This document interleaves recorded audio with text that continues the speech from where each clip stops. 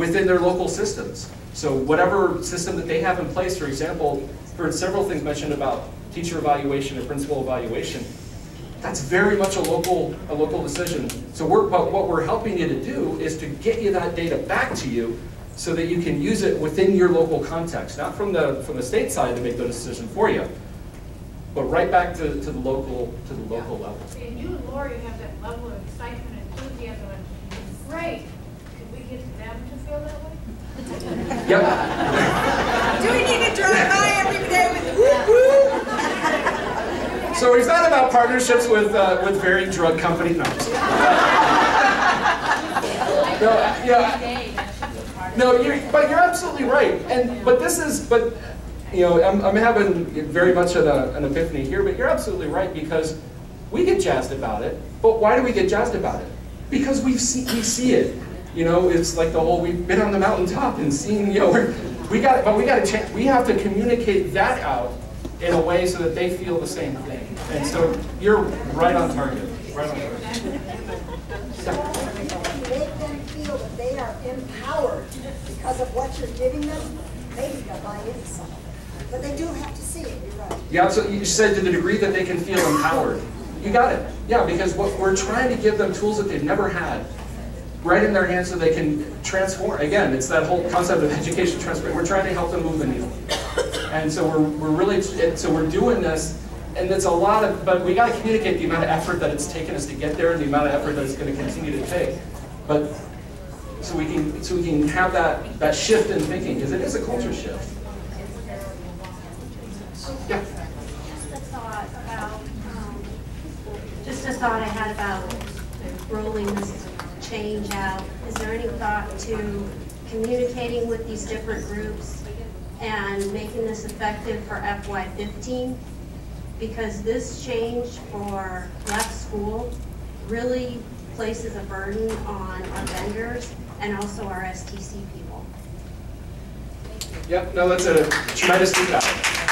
And, you know, and we've been mindful of, of stuff like this before, where we, you know, were raring to go, and then we got feedback and said, you know what? You know, we gotta, we gotta manage expectations here a little bit. We agree that this is the endpoint where we gotta get to, but is there another way we can get from point A to B that's gonna be less impactful to folks in the field, but we're keeping the same intent? And so, yeah, we're definitely taking that, that feedback. Uh, part of what our, the team's been doing and having conversations with, with some of you uh, offline and also with vendors just to try to get a sense of, all right, is this just a totally crazy ask or is this something that's doable but with X amount of pain or is this something that's relatively easy? To help us get a, get a sense of what the impact is to the field. And so like Lori said, this is the thinking. You have a sense of why we're trying to get there. And so to the degree that we're, that we're having that conversation about how we can get to point A to B and what that might look like over the course of this year, yeah, absolutely, we're going to take that into account. Well, my concern is we've already started the school year, and nobody is aware of this change until now. Yet, it's almost time to report 40 today. So Totally we have understand. a lot of groups to communicate with to make that happen. Totally understand. And Yep. it's more philosophical. I'm sure the vendors can make it happen because they're just that magical. Yeah. At the same time, it's not about them. It's really about all the other people we've been talking about and the philosophical part of Absolutely. Change your practice, school yeah. grade, yeah. Yeah. No, we're, again, we're, we, we definitely value the feedback and we're going to take it into account for sure. So all the data that we gave you last year, how are you giving that back to us? Uh, actually, right now through sleds. And so we have a uh, 11 LEAs that are, or 10 LEAs, 11, that are currently piloting the sleds dashboards that you saw some screenshots from, So from not Ed Young. Giving it back to us yet. During the course of this year, we're committed to rolling out to a, a minimum of 200 LEAs. Yep. Over the course of this year. 200. To the degree that we can go beyond that, we're committed to doing that as well. And so we're, part of what the, the pilot has been working with is working directly with those educators to, to see, okay, here, here's, does the look feel right? Are you seeing the data that you want to see and the way you want to see it to help inform your instruction? We did a pilot over the summer so that we could get feedback on how, how do these data, if you were to have it in the summer, how does it help you plan for the year? As an administrator, how does it help you as- uh, assign students to courses, or to, to teachers rather? Um, And we wanted to get that real-world actionable feedback. And so those folks have been working real hard to, to build out and, and those, that, those dashboards so that we feel like they're gonna really be effective for folks. And now this year is our, our big kickoff. And we're gonna roll it out, again, to a minimum of 200 LEAs over the course of the year. And if we can do more, we absolutely will. And then it's, you know, 100%, you know, after that. How do you know if you need How, how do you know if you can be one of those 200 people? You'll know very shortly. Um, We're working, we've just, we've just begun working with, with the teams that are involved with this, that include the identity management folks, ADE Connect, that includes the longitudinal data system team, that includes the student-teacher course connection team. So all of those folks have been coming together uh, over this past week, or two weeks, to come up with what that rollout plan is. And we're looking at what's the best way that, because one of the first things that were said also is that, why can't we do everybody all at once? Um, so, well, we gotta, you know, we have to make sure that it's one thing to provide, and this has been um, probably the trickiest bit, and this might be giving away too much, but, but the trickiest bit is, it's, it's somewhat easy just to say, turn it on, here we go. It's a whole other thing to be able to train folks to say, okay, how do I actually use this? You know, to inform and serve. How do I actually use this as an administrator? You know, how can I apply this, you know, and change practice? Because we've all seen tools that have kind of popped up and say, here you go, and then if, if that second piece isn't there, it never gets opened again, or it doesn't get used again. We're trying to learn from some of those things that we've done in the past. And we want to make sure that as we're rolling out, that we're supporting folks with training and technical assistance and support so that this stuff is actually being used, you know, in the classroom. Because if it's not used, I mean, you know, we want to, and we, and that's the value, again, all the work that's got it, that's been put in by many, by all of you here to help get us to that point. And so that's why we were talking about that rollout, a minimum of 200. You know, the nut to crack to go beyond that is make sure we can support folks effectively.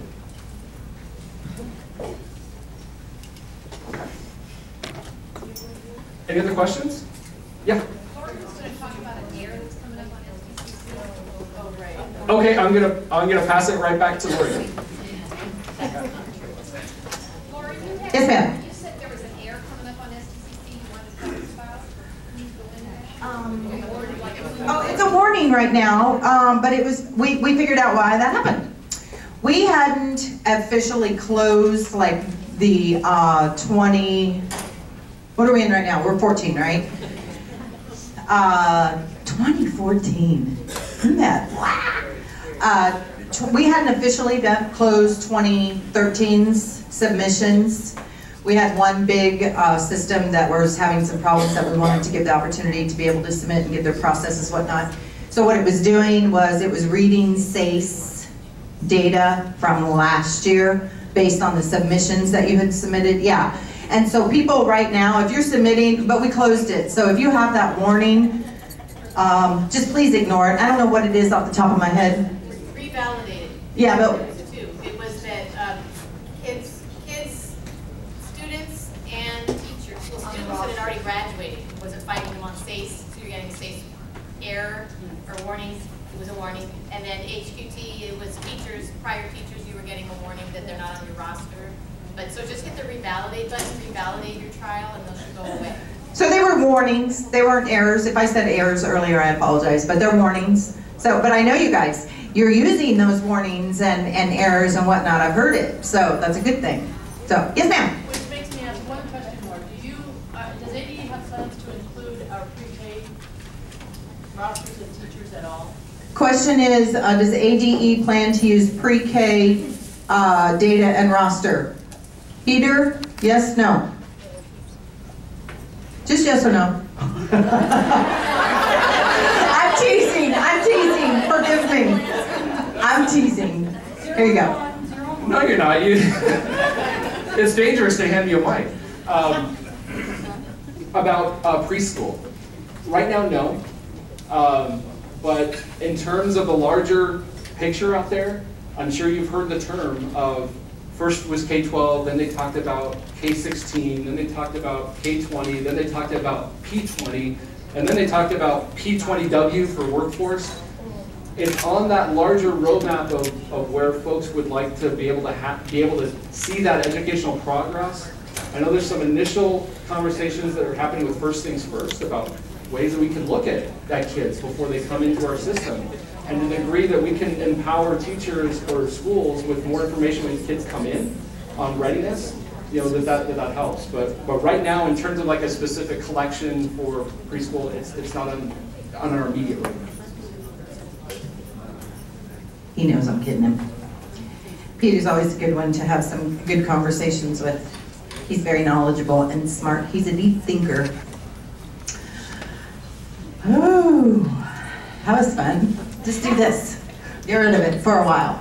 We'll figure it out. We had great conversations, um, and the biggest thing I took out of that is the communication piece. So, um, thank you very much. That means a lot to me because um, we've got some transitions going on, and your feedback with that is will be incredibly important to me. So, I might just be calling you. Um, just really quickly, CTE programs. Uh, we have a very good relationship with Jan Brite and her folks at ADE and the CTE folks. They had two programs that changed. I don't know if you're aware of it. Um, they had, initially they had um, communications media, no wait, excuse me, multimedia technologies and graphic communications as two separate, with two separate CIP codes.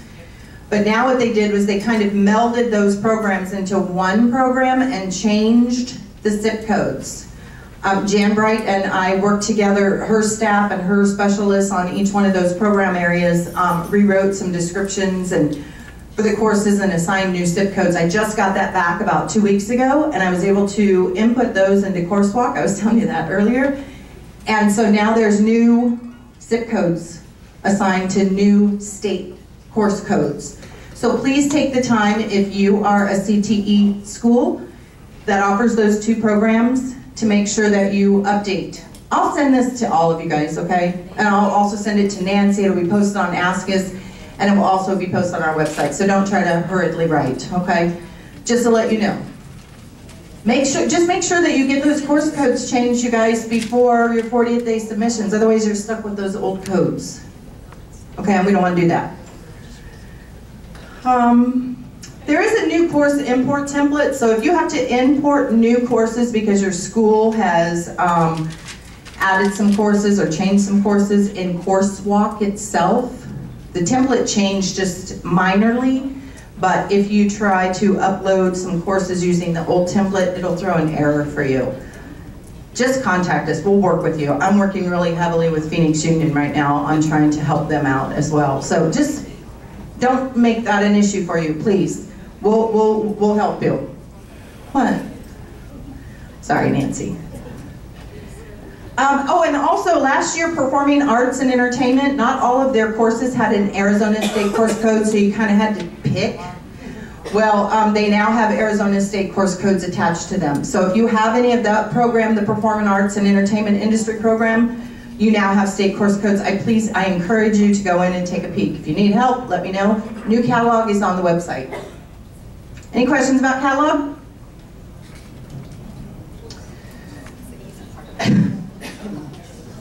We've got some teams transition here with STC.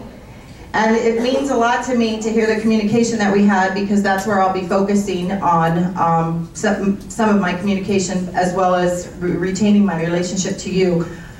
The big AELAS product rollout, I'm moving to that one and trying to work and get it out there like we did with STC. Um, that's the ADE Connect, the SLED, and some of the opt-in products that are coming out. So now you know why it was very important for me to really listen to what you said about all of this stuff. It really it makes a difference. Um, Sarah Mahoney will be moving into my role for STC. I will not be leaving STC yet because I feel like my foot's in the grave in there. You know, I don't want to leave completely, but I just want you to know that I'm moving on to be able to help the whole thing um, happen. And so, um, anyway, just wanted to tell you that. I'm not out yet. I probably have to claw me out, but. Um, So let me talk to you a little bit. I'm still learning. Uh, this is all thrown to me a couple weeks ago, and I've been frantically learning. I've cried a few tears over trying to figure out, well, what is ADE Connect and how does it fit in and whatnot. I don't know have all the I don't have all the answers yet. I'll be very honest. I feel like the dumbest person that's walking the planet right now because I have no clue. Um, every day I'm asking a jillion questions, finding the right people to talk to. Um, we're going to have to work with the vendors, and I know there's different vendors. Like Dan, I don't think you're on that project, right? Yeah. Um, yeah, not at all yet. Yeah. So anyway, there's a lot to learn. Um, really, they talked a little bit about ADE um, Connect to you. It's really more of a single sign-on. What it will eventually do is replace Common Logon. Right now, Common Logon, you have um, all your programs, right, that you need, like, and you have to ask for permission, and then we grant it to you and whatnot. Just like Ed said, it's more you guys manage it. Right now, ADE is kind of exposed. And I want you to just think about something. If Bill here leaves school, he still has his ADE common log on unless your school or district lets ADE know to shut it off, right? That's scary. So what we're doing is moving away from that, and as Ed said, you own it. You guys own it, whoever has it. So when you shut them off of your student information system because Bill's left, we don't want you to leave Bill. But if you shut Bill off at your student information system, it shuts Bill off from all the other things that he has to, uh, that he would see via ADE, or, you know, common logon or whatnot, right? Make sense? It eliminates the need for, you know, 50 bajillion passwords that you have to remember. Sarah's funny. She's, Sarah has a notebook on her desk where she keeps all of her passwords. I love it. Sorry, I just told on you. I love it, but it's the truth. Does anybody else have a notebook where they keep their stuff? Okay. Yeah, it's ridiculous. So, um, so what? A, so here's the way that it's going to work, as best as I see it, and this is only coming to my brain. But what happens is we have to get you guys plugged into ADE Connect. That'll happen through your vendor, or right now until your vendor can catch up, it'll we'll make it happen for you. Okay? That opens the door to oh, all the other stuff. Um, and so our first step, me and you, and whoever it needs to be, I'm not for sure, I haven't even decided what the attack is yet. We have to get this going for each one of your schools. Because if not, you're going to be left out and you won't be able to see the sleds, uh, dashboards, you won't be able to see common logon uh, applications that are moving over there and whatnot, you'll be shut out. So it is, it is vital that we get you moved over to this, okay? Um, and really, it's kind of a triangular approach, you know? This will be me and the folks here at ADE that'll work with you to say, hey, we've got to make sure that you guys are on board. Who are the people to talk to? What do we need to do? I'll have to work with, very closely with the vendors to say, is the solution ready? What do they need to do? How do they get signed on? So on and so forth. And then you'll have to work also with your vendor to make sure it happens. So it's kind of, if you will, it's not any different really than what we had to do last year together, right? STC, we had to do all of this together. So this is the first step in making all of the data come to life and all of the products. I'll take questions. I, I don't have any specifics, but if you have an ADE Connect question, yes, ma'am? Is this going to include HR titles that any, anybody that would log into ADE? Yes. She asked, does this uh, include more, the, what are the roles? Right now, I believe there are seven roles. I don't know them off the top of my head, I apologize. But the ones I do know are like an entity admin, a, I don't know what they all mean yet, I'm still getting the definitions. Entity admin, district admin, school admin, uh, teacher, HR, counselor, I, that's what they have thus far. And what? Yeah, that, that's on one of the pilots, right? Yeah. They're coming. They're coming. Yeah. So see, see, I don't know what I don't know yet. It's two years in a row I didn't know what I don't know. But Lori, some people would really use an e like that, you know, pilot, like, I think don't our reading specials that go there from something. Move on when reading. Yep. That, what I was, that's what I was just going to tell you. Um, right now, this is kind of the way it looks, from what I understand. I'm getting a training early next week on it. I'll be able to tell you more. But here are some of the programs that are currently on there. Move on when reading. Um, this one is, I'm not for sure exactly what this is, ADE reporting. But I do know there is a report that's going to be thrown on there very soon, actually in the end of, what are we in right now? September? I think it's the 1st of November it'll be thrown on, and it's um, the Arizona Board of Regents High School something. I apologize. I don't mean to take this lightly. I just, I, I don't know. But it's a, it's a Arizona Board of Regents report that all high schools will get because you get it already anyway. But now to display it and to see it and to view it, it will be on this level. Um, the SLEDS environment and grants management have already been moved over. Old slides, the new interface and the old interface. Oh, this is this? Yeah. So one's the teacher, one's the, it's been written. Oh, that's right. Thank you. It's, uh, we have two interfaces. We're in a transition on the uh, SLEDS interface right now, and I believe they are still making the old one available until the new one, that we can like shut the old one off and turn the new one on. Yes, ma'am. Um, Is there like, please, thank is there like a listing of like the role types and what they can, I mean, is it that defined? Because our entity administrator came to me yesterday and said, ask tomorrow and ASCUS, because she asked me and I'm like, I have no idea. But she's like, I'm entity administrator, but then I also gave my permission, me permissions for move on when reading and grants management, but now my grants management is not working again. I can't do this and I can't do that. And I'm like, it sounds like a hierarchy thing, but. It is very hierarchical. hierarchical. You know what I meant. It's very, um, that word in nature. Um, but, but I don't know. That's what I, that's why I said just a moment ago, there are seven roles. I don't have the full picture of what those are. And just kind of like the email, you know, I can get the email, but right now opening it and comprehending it and being able to speak it back to you, you know, I can't do just yet. But I'm telling you what I know. Rose, Rose mask. But yes, there are, uh, they're clearly defined. Yes? I don't know. The question was elite. What I am pushing for, just to let you know, I said, well, you know what, if we roll this out, it's going to be really important to folks to know what's the phase one programs that are going to be on, on uh, ADE Connect. And what's the phase two? What's coming, what can we expect when, which program uh, stuff is going to be on ADE Connect? And then what's coming next? And then what's coming next? And so um, they haven't been able to answer that question yet. And so what I'd like to do is kind of take that challenge on and see if I can get something out there that, okay, when are you planning on moving your stuff over? You know, so you guys have an idea. It's that communication. So right now they don't know. But eventually common logon will go away. That's what I do know. Why is this following me? So, yes ma'am. No, please.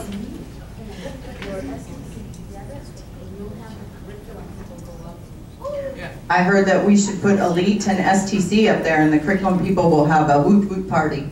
Yeah, maybe so. I'm good at running around and trying to figure things out and talk to people, so. Anyway, that's all I know about ADE Connect at this moment. Any other questions, high level? Please don't ask me specifics, I'll tell you I don't know. Uh, and then, you know, obviously, once you have ADE Connect, I don't want to, I don't want to, you know, beat sleds into the ground. It just seems like it's, it's like the fun, sexy stuff, right, of everything that we're doing.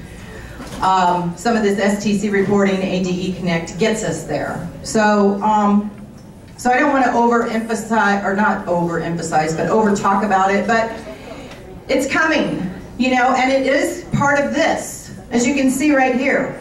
So your STC data, it will behoove us to get you on board as fast as we can to ADE Connect so you can start looking at that SLEDS data. And you can also say, see, this is what we're doing, which will help us answer some of those questions, right? Um, oh, I just wanted to let you know, here's some of the reports. I don't know if you know this yet, but here's all of the reports that are available right now with sleds. So take a look at these. And do you know what STC is driving all this? Do you know what part? Someone please say yes. How is STC driving this? Okay, wait, let's go with this one. How is STC driving this? What components, you guys know this, I know you do. What is, what components of what you're submitting is visualized through this? What? I heard it.